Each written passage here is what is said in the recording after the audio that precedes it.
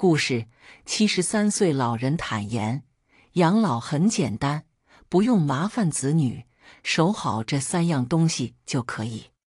养老一直是我们非常关注的问题，因为每个人都会变老，而到了晚年，我们也想过上舒心自在的生活，所以晚年要怎么过才能过得好，就成为我们一直在思考的问题。有人觉得，人老了就去养老院，那里老人很多，养老设施也很好，生活起来会很快乐。也有人觉得。可以请个保姆在家伺候，每天享受专人照顾，日子肯定很自在。不过这些老人还是少数，绝大多数老人还是保持着比较守旧的思想。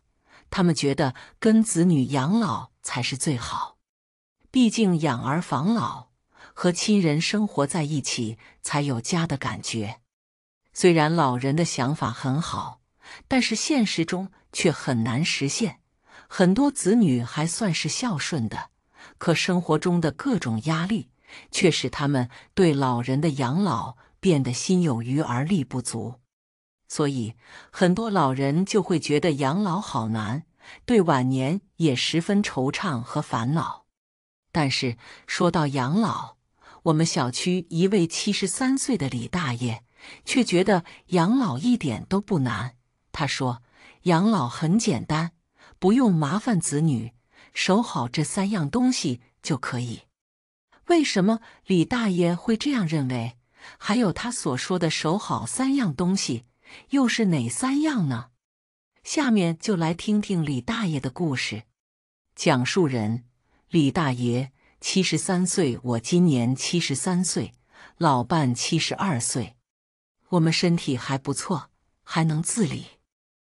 周围很多老人都很羡慕我们老两口，因为我和老伴不仅感情很好，而且双双都是退休干部，每个月两口子的退休金加起来都有近万元。可能对比很多老干部来说，我们这种退休金不算多，但和普通家庭的老人来说，却比较滋润又富足的。而且在退休后。我和老伴自给自足，趁着还不算老，也开了几年麻将馆，赚的不多，也算能维持我们两口子每个月的生活所需。而我们的退休金一半拿起来存，一半拿来贴补两个儿子。那时候身边很多人都劝告我说：“不要太宠溺儿子，毕竟他们都成年了，我们自己的钱就要自己藏起来。”以备不时之需，而我和老伴却觉得，反正老了都是要依靠两个儿子来照顾的，现在一点点把钱分给他们，也算能增进感情，以后好让他们更用心来感恩伺候我们。然而，我这样天真的想法却被现实打了脸。五年前，我和老伴陆陆续续疾病缠身。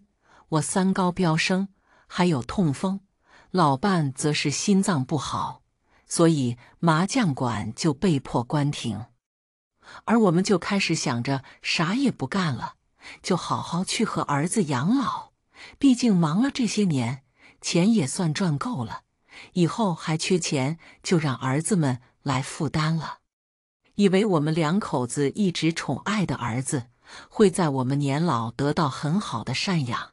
结果我一提出要去儿子家养老，两个儿子纷纷都表示很为难，且借口很多，就是不肯给我们养老。这时候，很多人就会疑问了：为啥我们就一定要跟着儿子养老？去养老院去找保姆就不行吗？说实话，像我们这样双儿家庭的，去养老院或者请保姆。这不就会让人笑话，说我们儿子不管用、不孝顺，我们两口很卑微吗？所以，为了让两个儿子肯给我们养老，我就决定把每月的退休金拿出来，只要我们在谁家养老，这近万元的退休金就给谁。当时两个儿子一听到钱，没多想就答应了，并且还要我们公平点，在两个儿子轮流住三个月。我觉得这样也挺好，一碗水端平。于是就我和老伴就开始轮流养老的生活。我们先去比较近的小儿子家。刚开始的时候，我们也是小儿子家最受宠的人。一住进去，小儿子就给我们准备好了一间主人房，有暖气，有电视，还有全新的被子。小儿媳也对我们很好，家里的大小事都不让我们插手。我们天天就吃喝拉撒睡，时不时就去公园散步玩耍。然而，好日子却很快就结束了，大概才住了一个月左右，工资卡被小儿媳拿去后。他们两口子的态度就越来越差，小儿媳总是很嫌弃我们，一会说我们天天只知道吃喝，不会帮家里做点事；一会又抱怨我们俩心眼坏，只给他工资卡，以前的养老钱也不舍得拿出来给他们用；一会又说我们不注意卫生，哪哪都有味道。衣服两天没换，更要被他说成乞丐一样。小儿子呢，什么都听他老婆的话，从来不会向着我们，甚至还想要我出十多万给他买车。我觉得他们都有车了，就拒绝，结果就迎来很大的怨气，天天都没个好脸色，给我们的吃喝穿用的标准也大幅度降低。我们吃点好的。用点好的，还得自己偷偷拿老本去买。好不容易挨过了半年，我以为去到大儿子家会享受到不一样的待遇，结果大儿子却比他弟弟还要狠。我们去大儿子家，大儿媳就给我们安排到一间小杂间一样的客房，还装好心的说这房间冬暖夏凉，干燥还隔音，适合我们住。住的不好也就算了，大儿媳还很多是非，叫我们两口子衣服分开洗，还要我们天天换袜子、鞋子，更要我们拿到门口的旧鞋架上去。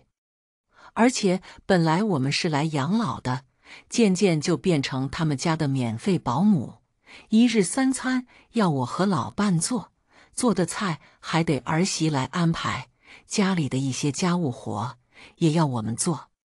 甚至上小学的孙子也要我踩单车去接，一点也不怕我身体不好半路出事。大儿子呢，虽然一直忙着工作，很少搭理我们，对我们态度也还算可以，但是他却是个笑里藏刀的人。每次突然孝顺我们，带我们去逛街买衣服或者自驾游等等的背后，都是目的的。要么股票投资不好，要我们慷慨解囊拿钱给他补仓；要么就是在外面消费过头没钱了，又不好跟儿媳要钱，就跟我要钱花。每次不是几千就是几万，搞得我在大儿子家福气没享受到多少，就贴了好几万养老钱，而且每天操劳一家人的家务事。也让我和老伴身心疲惫。经历了近一年儿子的轮流养老后，我和老伴就心灰意冷的搬回了自己的老房子住。虽然老房子有点旧，而我们两口子也疾病缠身，生活有些不便，但还是回到自己家就觉得很温馨，也很舒适。至少不用被儿子儿媳嫌弃。也不用憋屈的活着，我和老伴也这样暗暗做了个决定。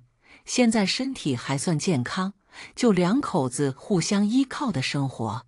真到了需要人照顾的时候，我们再请个住家保姆来。毕竟我们两口子的退休金这么多，请个住家保姆也是绰绰有余的。在自己养老这些年，我对养老也深有感悟。其实晚年养老也很简单，不用麻烦子女，守好这三样东西，照样能过得很舒心幸福。一守好健康，积极锻炼身体，保持良好作息。人到晚年，最大的麻烦和困难，不是儿女不孝，而是自己身体不好。毕竟久病床前无孝子，子女在孝顺，老人自身不健康，天天都要子女操心，并影响他们的正常生活和工作，那么子女就会嫌弃和不待见。而守好健康，就是我们老人能否舒心养老的基础。每天坚持迈开腿，走出房间，去外面呼吸新鲜空气，去散散步，练练太极，或者跳跳舞，多去参加一些适合老人的文艺活动，让自己有事做，不整天闲置在家里。坚持不做没有活力的老人。有句话说得好，老人的病。多半都是在家里憋出来的。二，守好养老钱，学会给自己的晚年存钱，更要在晚年学会守好老本。其实人到了中年，就开始学会给自己的晚年存钱，这样到了晚年才不会没本钱养老。但是晚年有了钱后，我也要学会守好自己的老本，因为晚年的我们。已经没法子去挣钱了，收入大不如年轻的时候，而子女有各自有各自的生活要维持，对于我们老人的生活是心有余而力不足，而我们的晚年就只能靠自己存的老本，所以与此同时，我们要守好老本，不要随便借钱给亲戚朋友。这年头借钱的人都是大爷。借给他们了，你想要用钱的时候，他们大多都很难偿还。也不要过度贴补子女，子女的债务问题、生活问题，我们在保证自己的生活被动摇的情况，尽能力出手帮一下子女是可以的，但千万不要什么都补贴的妥妥的，得让他们靠自己的能力去维持生活。更不要用养老钱去赌博，不要去投资理财，不要去瞎买保健品。人老了，什么都要求稳，不要贪心。守好养老钱，做个财富自由的老人。三，守好老伴，深爱着身边的老伴，一起携手共度晚年。我们一定要深爱着老伴，不要做什么苟且之事，伤了老伴的心。要知道，人到晚年，身边的老伴就是你最好的依靠。生病了，第一时间陪在你身边，无微不至照顾你，对你不离不弃的，始终都是跟你生活了几十年的老伴。有人会说，现在只要有钱，保姆护工就可以替代一切。但是外人始终是外人，他们拿钱办事。没有真感情，更无人性，远不及老伴的那种贴心又温暖的陪伴。所以，人到晚年，要想好好的养老，老伴是你最要守好的。没有老伴的晚年，有再多的钱也会黯然失色，没有什么幸福可言。结语：人到晚年，关于养老，其实真的不难。我们只要保持一种心态，凡事靠自己，子女养老不要太过在意，只要能过得好，怎样养老都是好的。不过也建议大家，无论选择怎样养老，我们都要守好上面所说的三样东西，这些都是晚年养老必备的，缺一不可。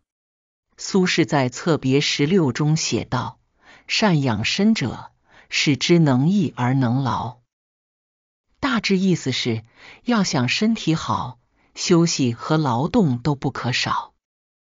现在工作与生活节奏都快，可以说养生已成为人们调理情绪与身体的刚需。翻看最近的杂志，发现一条很逗的言论，精准捕捉到当代年轻人的生活奥义。口红的尽头是裸色，医美的尽头是养生，烫染的尽头是黑长直，消费的尽头是断舍离，时尚的尽头是黑白灰。而那些真正会养生的人，只养好这三处就足够了。美以养眼。主持人何炅说过一句话：“美好是一种选择，发现美好是一种能力。”其实，我们生活中大部分的烦恼都是源于心中的计较。细细想来，正是如此。除了身体上的痛苦，我们所感受到的其他痛苦，往往是价值观带来的，而非真实存在的。一个人无论多么成功，得到多少财富，如果不会欣赏生活、品味生活，他的心灵就不会快乐，因为他无法感受到这个世界的美妙之处。在美国西部的一个小镇上。一位花匠在自家的花园里种满了各种玫瑰花。转眼到了玫瑰盛开的季节，花匠很高兴，决定将鲜花随机分发给路人，与大家一起分享这份喜悦。第一天，一位少妇经过花园门口，花匠递上几枝玫瑰花，少妇很乐意接受。但她的丈夫似乎不喜花匠的行为。第二天，一位商人经过花园门口，花匠照例递上几枝玫瑰花。商人高兴地说：“玫瑰花真漂亮。”同时把钱递给花匠。花匠不愿意收，但是商人不同意，硬把钱塞给了他。第三天。一个背着书包的小男孩经过花园，花匠递上玫瑰花，小男孩将鼻子凑近闻了一下，笑着说：“真香啊，谢谢。”然后他高兴的上学去了。这一天，花匠开心极了，他终于找到了一个能够真正与自己共享快乐的人。是啊。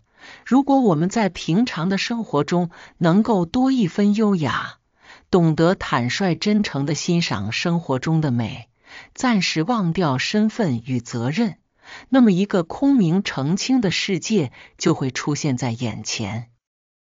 正如那句经典名言：“美是到处有的。”对于我们的眼睛，不是缺少美，而是缺少发现。深以为然。在这世上存在很多美好的事物，而能否发现这些美，因人而异。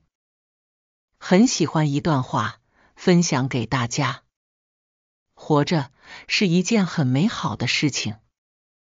既然来到人世间，便去爱，去经历，去感受，去欣赏一切微笑的欢喜。月以养脑。网上曾有一个提问：怎样才能最容易的见世面？有一个回答很有意思。所谓见世面，就是明白了世界不只有一面，而通过读书，便能最容易见到世界的不同面。你当像鸟飞往你的山，是我最喜欢的书之一。书中记录了一位名叫塔拉的女孩振奋人心的经历。塔拉出生于一个与常人不同的家庭，父亲偏执又愚昧，不允许她上学；母亲唯唯诺诺，毫无主见。他就这样生长在偏远落后的小山村。童年几乎完全是由垃圾场的废铜烂铁铸成的，那里从未出现过读书声，只有起重机的轰鸣。十七岁之前，他从未踏进过教室，几乎每天都在喂猪喂牛。可就是这样一个贫苦的女孩，后来却成为剑桥大学的博士，还被《时代》杂志评为。年度最具影响力人物，而改写他命运的正是读书。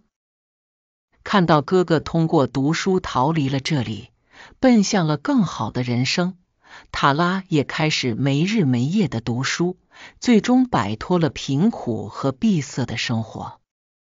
多年后，靠阅读振翅飞出大山的塔拉完成自我救赎，感慨道：“我曾怯懦、崩溃、自我怀疑，内心里有什么东西要腐烂了，恶臭熏天，直至我逃离大山，打开另一个世界，那就是读书给我的新世界。”作家毛姆说过：“培养阅读的习惯。”能够为你铸造一座避难所，让你逃脱几乎人世间的所有悲哀。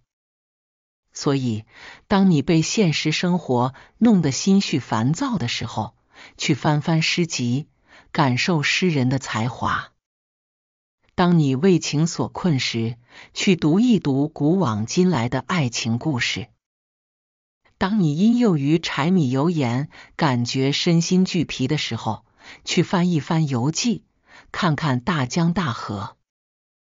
也许读一本书，你感受不到什么变化；但读百本书，你会掌握很多的知识和技能；读千本书，你会拥有更广阔的见识和胸怀，让你可以从容面对生活里的波澜。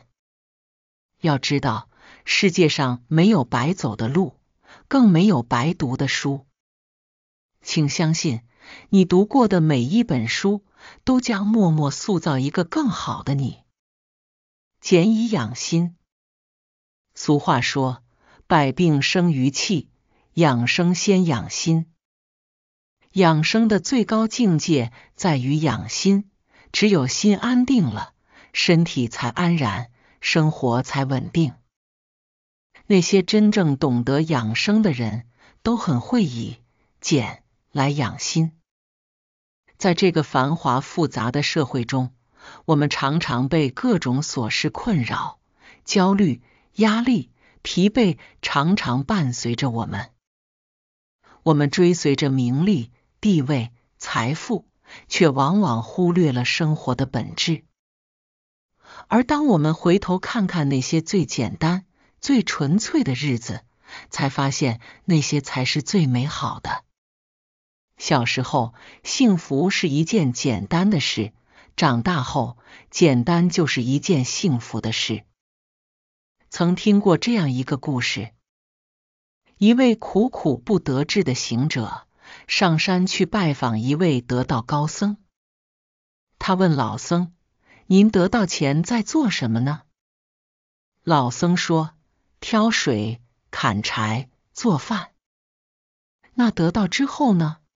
行者继续问道：“老僧回答：挑水、砍柴、做饭。”行者不解：“这不是都一样吗？”老僧笑答：“得到钱，挑水时想着砍柴，砍柴时想着做饭；得到后，挑水即挑水，砍柴即砍柴，做饭即做饭。你看，你越复杂。”世界就越复杂，简单行事便能成事。道德经讲：万物之始，大道至简，演化至繁。人生不过三万天，有的人背负太多，就活得辛苦；有的人取舍有度，便轻装前行。其实生活中那些过得很幸福的人。未必有多优越的条件，只不过是有心者有所累，无心者无所谓，将所谓的糟心事摒弃在心门之外罢了。凡事往简单了想，生活往简单了过，磨难来了就当修行，做一个简单的人，让自己过得快乐比什么都重要。保养好自己的身体，不仅仅是对自己负责。更是对家人负责。愿我们都能理解养生的真谛，以欢喜心看世界，以清净心生情味，以简单心过生活。故事：六十岁老人倾诉，想在儿子家养老，出钱出力还生活不好，也做不到。院区里的老张今年六十岁了，年初的时候退休了。他想着老伴在儿子家带了大半年的孙子，自己也正好退休了，就一起去儿子那里居住，帮忙带孩子，也就在儿子家养老了。过年疫情哪里也不能走动，老张在儿子家待的还是很舒服，每天除了陪伴孙子玩。就是看电视，家里的日用生活品都是儿子儿媳从网上下单，直接送到小区门口。等到疫情过后，老张也没有回自己家的想法，他想陪着老伴一起在儿子家。最主要的是，老张觉得自己一个人回家太不好了，自己要做饭、收拾屋子，还没有人陪伴自己，在儿子家里。每天可以和老伴一起相伴着带孙子在楼下，或者去广场玩，自己还可以跟广场的老头们一起闲聊会，或者下下棋。总之，老张已经习惯跟着老伴在儿子家的生活，他不想回自己家里单独过日子。老张觉得没有老伴在家的日子过得没有人气，在老张的思想里。他觉得儿子的大房子是自己出的首付款，儿子的车也是自己出钱买的。现在儿子儿媳工作稳定，收入不错，是时候回馈他们老两了。平时带带孙子，陪着老伴，看着儿子儿媳，自己都觉得很是幸福。每天老伴都会做两个他爱吃的菜，给他倒上二两白酒。他觉得这样的日子才是他想要的退休生活，也是人间最好的天伦之乐。老张的自我感觉是越来越好，可生活不像自己想象的那样。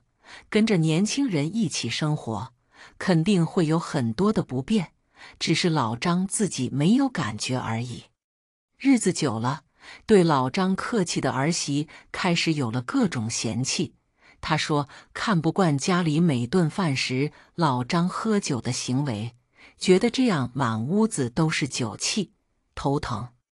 有次老张喝完酒点了支烟，在阳台那里抱着孙子玩，被儿媳大声训斥了一番，说老张这样抽烟不仅伤害自己，还让一家人跟着吸二手烟，尤其是对小孩子危害最大。”儿媳说到最后来了句：“以后要喝酒抽烟就出去，别在我家这样。”进自己房间时，跟婆婆说：“妈，我这里有你一个人就够了，再多人也是带一个孩子。”老张听出儿媳话里的意思，他觉得有必要跟儿子说说自己的想法了。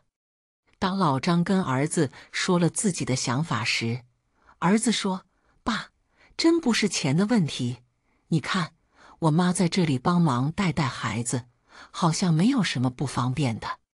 可您在这里，尤其是夏天，真的太不方便了。而且你儿媳一闻烟酒味就头疼，她也是忍了很久了。老张觉得自己的想法多好的呀，自己和老伴每月共有八千多的退休金。负责自己和儿子一家的日常开销，儿子儿媳的工资负责还房贷，剩下的自己存着以后养孩子用。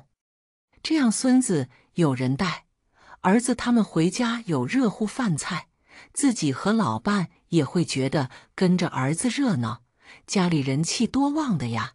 为什么就不能在一起居住的呢？老张的老伴。也劝他不如先回去自己带一段时间，等孙子上了幼儿园，老伴也就回家跟他一起好好的过自己的老年生活。老张还是想不明白，就给自己的老伙计们诉苦，也遭到一致的反对。老张叹了口气，说：“时代不同了，老人出钱出力还会被嫌弃，回自己家过日子去吧。”其实，随着社会的进步发展，我们传统的养儿防老思想已经过时了。现在大多数家庭都是一个孩子，老人的养老观念还是要转变的，不能再按照以前的方式来要求年轻人。那么，在渐老的路上，我们这些六十、七零后们要有正确的养老观念。指望儿女养老实在是不太靠谱，在自己还能够自理的时候，尽量的不与儿女一起居住。因为老人与年轻人在生活习惯和生活方式上有很多的不同，不要彼此强行接纳。老人要尽量守住自己的老窝、老本，在自己能够掌控的时候，还是自己单独居住的好。养老的方式有很多种，像老张这样的，可以把自己的原来的住房卖了。在儿子小区附近买套小面积的房子，这样既可以帮忙带孙子，又能时常看到儿子。自己有个什么急事，儿子儿媳都会帮到忙的，而不是一定要居住在同一个屋檐下。其实，老人退休后应该给自己培养几个兴趣爱好，不能把自己的精神寄托在孩子身上。要学会自己寻找乐趣。身边有很多退休的老人，退的是工作，但身心不闲着。他们主动的去老年大学学习各种爱好，或者去做一些自己能够做的简单工作。其实不是为了多挣多少钱，而是给自己找个事情做，让自己的精神不再空闲，觉得自己真的老了，废了。为什么说老人不要有依靠儿女养老的想法呢？一是儿女们此时正是事业的上升期，比较忙，根本无暇顾及老人，时间和精力都不够用。如果此时的老人一心想着儿女陪伴身边，无疑是对孩子是一种制约，他们会感觉自己被父母绑架。还会生出诸多的不满和矛盾。二是不是儿女们不孝顺，是现在年轻人的压力太大，工作、房贷、车贷，再加上各种关系的处理，那里都需要钱来铺垫，根本没有多余的时间和精力、金钱来赡养老人。偶尔还会需要老人适度的资助。三是老人跟儿女一起居住养老。时间长了，必定会生出各种矛盾，尤其是老人出钱出力后被嫌弃，那种滋味真的是有苦说不出，苦不堪言，还不如回自己家里过自己快乐幸福老年生活。儿女的事情自己去解决，也许这就是眼不见心不烦吧。四是老人跟着儿女居住会过得不开心。金窝银窝不如自己家的草窝，儿女家再好也不是自己家，不自由不说，还要处处小心翼翼的。尤其是夏天，那才叫尴尬呢。回到自己家，怎么舒服怎么待着。写在最后，养老是当今社会关注比较多的话题，也是我们这波健老人群讨论最多的问题。独生子女的父母。在自己未来养老问题上，首先要懂得，靠谁都不如靠自己更为靠谱。千万不要轻易的把自己的养老靠在儿女的身上，因为那样你的晚年生活真不好说。孝顺的儿女是你的福气和运气，不孝顺的儿女你就遭罪了。所以，还是谁的老年谁做主吧。真正聪明的人。不走回头路，不忘来时人。北宋欧阳修说：“晋无文章，唯陶渊明归去来兮辞。”当年陶渊明挂印辞官，再也不为五斗米折腰，羡煞多少人。没有被人呼来喝去的烦恼，不要看人脸色，也不因前程如何而担忧，守住几亩薄地。慢慢变老。当我们向往陶渊明的生活的时候，更应该看到他的生活智慧。人这一生，真正的聪明，不就是不走回头路，不忘来时人。不走回头路，余生的每一天都是新的。陶渊明在《桃花源记》里写了一个很怪异的现象：打渔人到处留下记号，希望能把通往桃花源的路留下来。但是后来他再去寻找，发现一个事实：寻向所至，遂迷，不复得路。原来。人生一路走来，美好也罢，丑陋也罢，都找不回来了。聪明的人让过去的过去，活好当下，筹备明天就足够了。陶渊明年轻的时候总是想有一番作为，因此借助亲戚朋友的帮忙，几次到走进职场。第一次做了江州祭酒。上司是王羲之的儿子王凝之。王凝之沉迷道教，混日子的现象很严重，因此陶渊明迅速辞官了。第二次，他在权臣桓玄的手下做文书工作，还得到了重用。桓玄打着匡扶东晋的牌子，却想着要称霸。这是不符合陶渊明的志向的。怎么说，陶渊明也是要像太祖陶侃一样拥护东晋。正所谓祖宗虽远，祭祀不得不成。恰好陶渊明的母亲过世，他马上以守孝为名离开了职场。第三次做了彭泽县令，能为家乡人们服务了。就在他励精图治的时候，来了个督邮，非得要他去迎接，一路上还得毕恭毕敬。总是受制于人，不如退一步，海阔天空。因此，陶渊明悄然离职，从此不再涉足职场半步。人生的历程，就像他自己写的《桃花源》一样，可以极致想象天下的美好。但是桃花源里的生活，只是世界之外才有，人间是没有的。或者说，美好的生活一开始就是虚无的。缘溪行，忘路之远近。忽逢桃花林，回头了几次，一次不如一次，就得出了结论：别回头，那只是遗憾而已。作家村上春树说过：“当我们回头看自己走过来的路时，所看到的仍似乎只是依稀莫辨的或许。我们所能明确认知的，仅仅是现在这一瞬间，而这也只是与我们擦肩而过。人到了一定的年纪，越发感慨：一回头就是一年，一转身就是一辈子。”回头干嘛？太伤心了。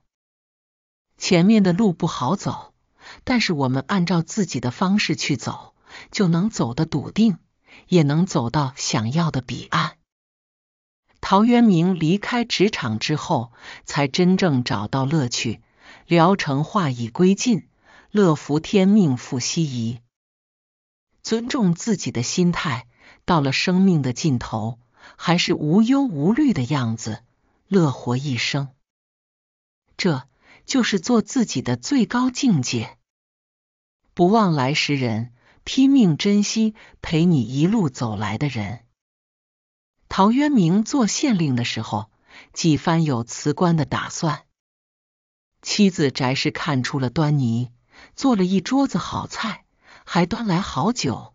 夫君要辞职，我知道，但是上百亩官田。稻谷要熟了，你应该考虑百姓的生活呀。是的，民以食为天，自己吃饱，还得考虑民众吃什么。陶渊明端起酒杯，打消了辞官的念头。督邮来视察工作，陶渊明厌恶阿谀奉承，决定辞官。我不是为五斗米而去奉承人的人。翟氏说：“还有几天，官田就要收割了。陶渊明长叹：“随他吧。”翟氏开始收拾东西，备好马车。祖上有几亩薄地，就在山水之间，还有草屋，修整一番也能容身。多少日子，夫妻日出而作，日入而息；多少日子，夫妻同心，不戚戚于贫贱，不汲汲于富贵。当我们欣赏陶渊明的田园诗的时候，是否会想起田园里还有一位妻子，放下对荣华富贵的追求，坚持过清贫的生活，甘心情愿的去种地呢？户庭无尘杂，虚室有余闲。但愿桑麻成，残月得访寄。录我心属酒，双击招进局。诗句里没有妻子的字眼，但是有妻子的功劳，清扫了庭院，屋里有清新的空气，美酒在桌上，纺织机在一旁。《诗经》小雅有言：“妻子好合，如鼓瑟琴。”这一生真正陪你最久的人，不是父母，不是兄弟姐妹，而是爱人。聪明的人，不管做出什么决定，人生遇到了什么难处，都会带着爱人，比翼双飞。就算是吃苦，也要夫妻一起扛着，待来日还有幸福时。因为身边有你，心中有爱，粗茶淡饭都有了香味。浊酒一杯，酒不醉人人自醉。或许我们可以想到。没有妻子的操劳陪伴，就难以有陶渊明后半生的洒脱，甚至都看不到那么精彩的田园诗。一亩三分地的功劳，有你的一半，也有我的一半。今天的你我，千万不要犯糊涂，把身边的伴弄丢了。未来的幸福，不过是一屋两人，三餐四季。当然。夫妻相伴的时候，还要记住那些帮助过你的贵人，总是接济你的亲戚朋友。别做白眼狼。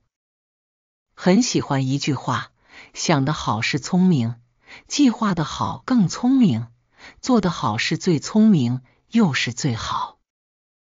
太多的人想了很多，最想做自己，但是迟迟不见行动，只能混在人群里。讨来几两碎银养活自己。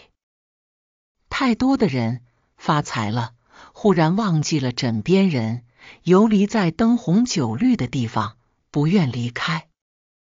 太多的人向往简单，知道大道至简，却焦虑着，越想越复杂。做个聪明人吧，做好自己，日子翻新过，走过路过。夫妻一起过。四十八岁阿姨哭诉：出轨后，我不顾全家反对，坚决离婚，余生活在后悔中。我姓李，来自广东珠海。我今年四十八岁了。我跟我老公结婚有二十年了，他对我一直都是挺不错的，也挺照顾我的，但是我却不懂得珍惜。做出了对不起老公的事情出来，而且我还不顾全家人的反对，我还是执意的跟情人在一起，导致我后悔终生。我是真的感到很后悔，但是事情都发生了，我只能在悔恨中度过了。我自从结婚之后，我老公就特别的忙，平时都没有时间陪在我身边，有些时候。我在家就特别的无聊，孩子也上学去了，我自己在家就感到特别的无聊。我也不想出去找工作，所以我就一直待在家里。我不出去工作，我老公也能养得起我们一家人，所以我都不用工作都可以。后来的时候，我见在家真的是很无聊。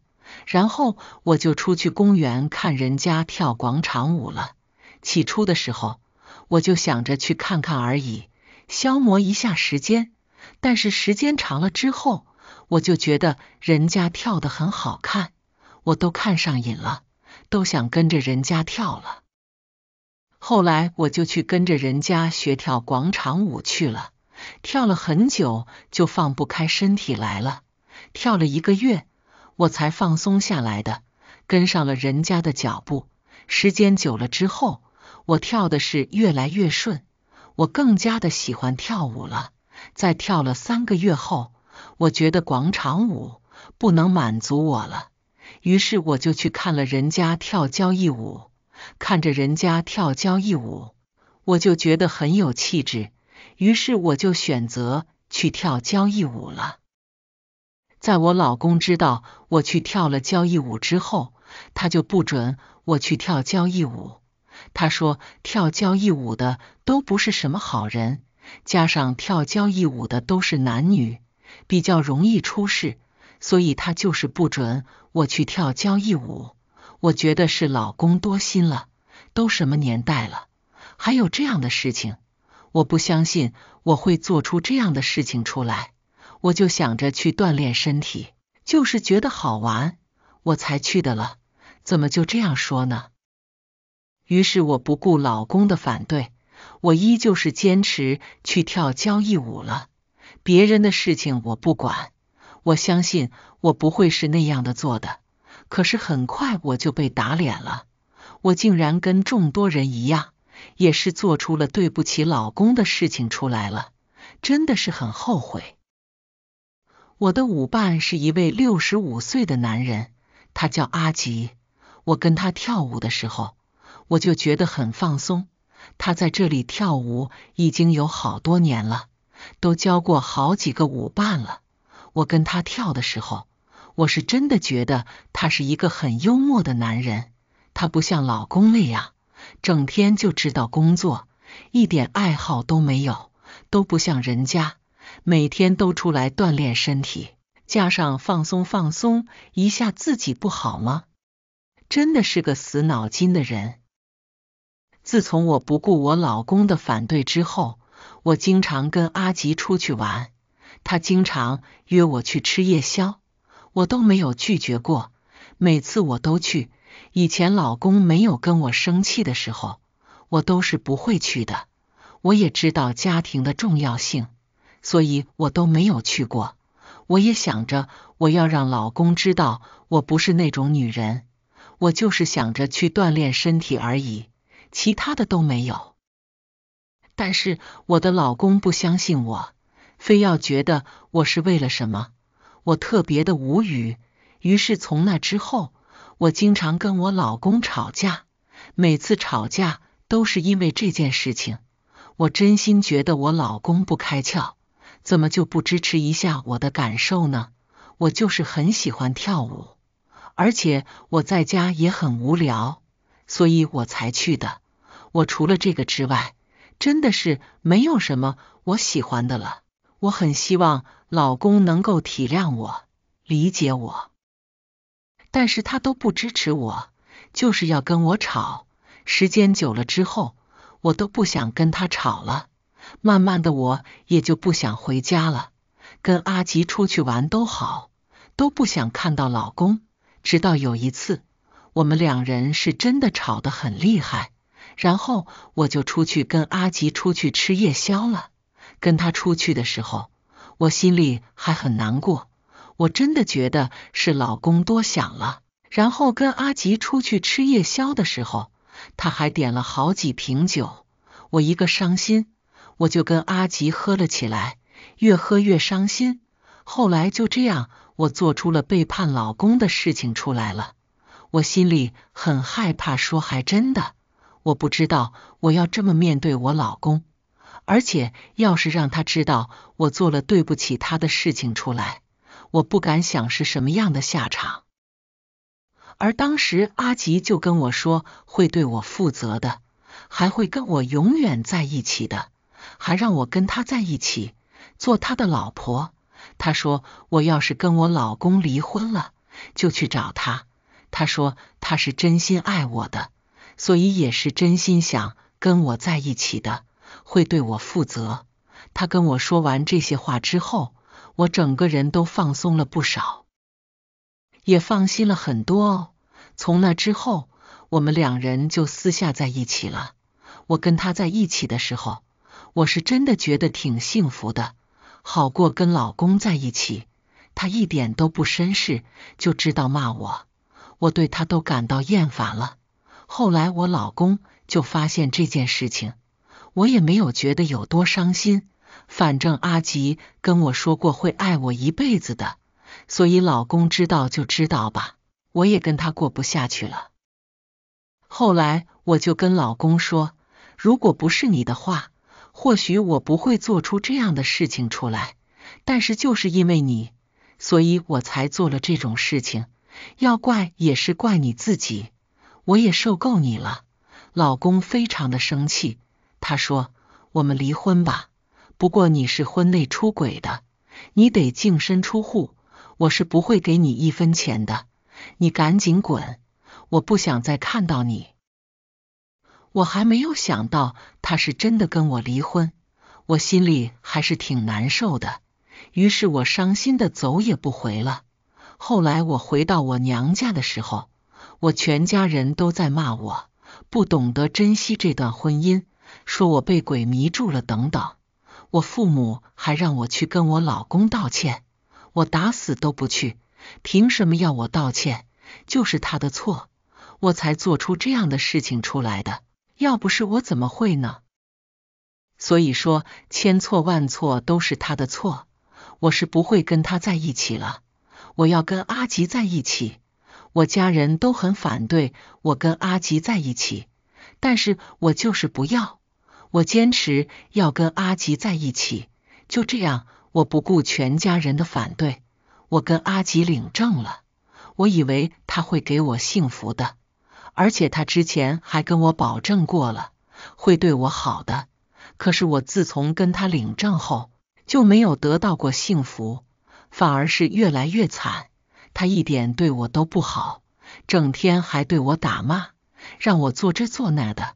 我感觉我就是他家的免费保姆一样，照顾他的全家。我是真的很累。以前都是前夫来照顾我，可是现在却是我来照顾阿吉全家。我真的后悔，他还整天欺负我。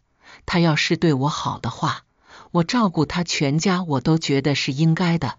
但是他对我都不好，还要我照顾，这点我就很不喜欢了。而且他还想打我，我真的是气死了。直到有一天他打了我，我立马就跟他说离婚了。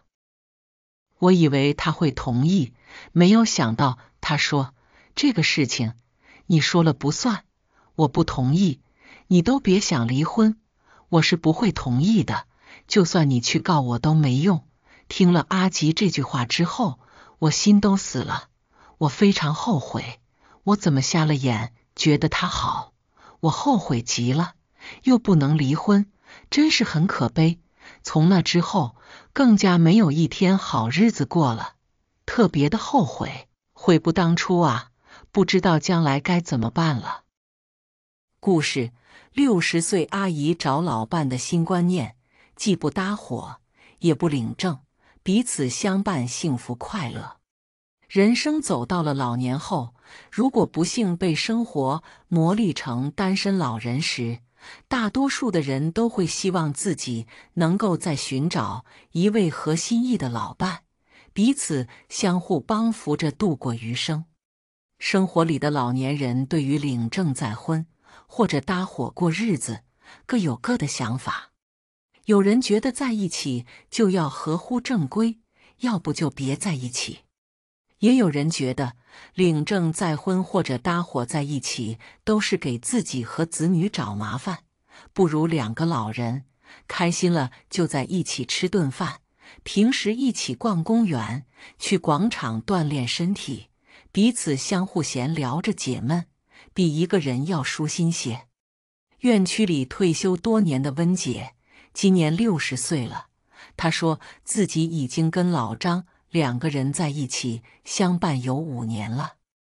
平时一起相约去广场打太极拳，也会去植物园散步闲聊。到点了，一起回去做顿饭，晚上各回各家。感觉这样的日子过得也很舒心快乐。倾诉人，六十岁的温杰，我今年六十岁了，退休多年，独生女儿早已成家生子。老伴在我五十岁退休那年突发脑梗走了，只剩下我一个人独活。我现在跟六十五岁的老张在一起，相互帮扶着生活。平时我们在一起去锻炼身体，打太极拳。到了饭点，我们就一起买些菜回到我那里，一起做饭吃饭。一般情况都是老张做饭，收拾厨房里的卫生。而我就把家里收拾得窗明几净的，准备好茶，等着老张坐下来一起品会茶，闲聊一番，或者什么话都不说，静静的看会电视。到了傍晚，我们一起下楼去散步，或者就在社区里走走，然后就各回各家睡觉。很多人不明白我们为啥要这样相伴在一起，为啥不领证再婚？或者直接搭伙相伴过日子呢？关于这个问题，我们也曾在一起讨论过。最终，我们两个商量着，就这样彼此牵挂，相伴着生活，不必非要在同一个屋檐下过日子。因为老张家是独生儿子，老张以前是单位里的领导，他老伴曾是单位里的技术主管，他们经济条件不错。老张的老伴走后，给老张留下了两套房、一套商铺，还有不少的存款。人都是这样的，总会觉得别人带着目的接触自己，尤其是我们这代老年人，到了老年，最终还是为子女而活。真正为自己活着的有几人呢？老张也曾想过领证再婚的事情，可他儿子不愿意。觉得老张再婚后不仅给自己添麻烦，还会把他母亲留下的财产被别人占了去。老张很爱他的儿子，况且现在都有两个孙子了。老张说：“为了儿孙，自己委屈些不算什么的。”我也觉得是这样的。我自己有退休金，也有自己的独立住房，不必为了生活去跟谁搭伙或者领证再婚。老张说：“只要我们彼此是真心的，愿意在一起，彼此相伴着，这样生活也是很好的。”老张跟我说，他什么都会做，每次买菜、买水果，甚至我们去逛商场，都是老张在消费。他说：“这是他一个大男人应该做的。”我平时每周会去老张那里给他收拾一下家里卫生。帮他拆洗一下被褥，我们两个人既属于黄昏恋，也属于彼此交心的老友。去年老张病了一场，在医院里住了一段时间，我每天都会去医院给他送饭，陪伴他到晚上我才回家。等待老张回家了，我也会每天买菜去他那里给他做饭、收拾卫生，直到他彻底康复了。有人说。那是老张大方，总是给你钱花。若赶上一个不知道感恩的男人，女人这样做岂不是白瞎了？其实，不论男人与女人，都要学会感恩对方的陪伴和感谢对方对自己的好。老张在我女儿买房这件事情上，并不是像其他男人那样，怕我借了钱不还了，或者就是直接的骗钱。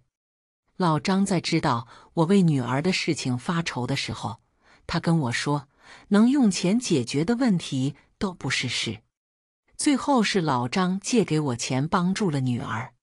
后来我的存折到期，我也是按照理财利息还给了老张。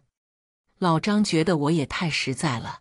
其实人就是这样的，你对我好，我会记得的，也会加倍对你好的。我们在一起这样相伴，我感觉很好。现在我们彼此身体都还行。如果再过十来年，彼此的身体不好了，到时候我们也许会携手一起走进养老院的。我们这般相处，老张的儿子是不反对的。他也看到了我和他爸之间是彼此相互珍惜的，不是那种彼此算计计较的老人。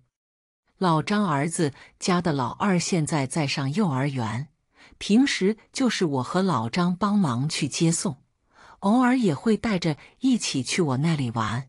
老张的孙子嘴巴甜，总是奶奶奶奶的叫我。女儿离我远。我这样帮助老张儿子带老二，感觉也非常的好，满足了我对下一代需求的欢乐。周末，老张儿子儿媳都忙的时候，老张就开车带着我一起去他儿子家帮忙带孩子，给孩子们做好吃的。偶尔，老张的儿子儿媳也会请我们两个人一起去外面吃大餐。不知道的。还以为我们本来就是一家人。写在最后，人到老年也有情感的需求，不是说老人就是每天等吃混天黑的。他们的内心渴望有人与自己交流、谈心，更期待有个伴与自己相伴到岁月尽头。年轻人总觉得人都到了这把岁数，还谈什么感情和需求呢？这是年轻人对老年人理解的误区。我觉得像温姐和老张这样的相伴也很好，但也只是为了子女的考虑，老人不得不选择这样的相处方式。如果年轻人真心为老年人着想，就该撮合有情义的老年人在一起，而不是为了自己的私利而怀疑老年人之间的真情和真心。最后，祝福天下所有的老年人都老有所依、老有所伴、老有所安。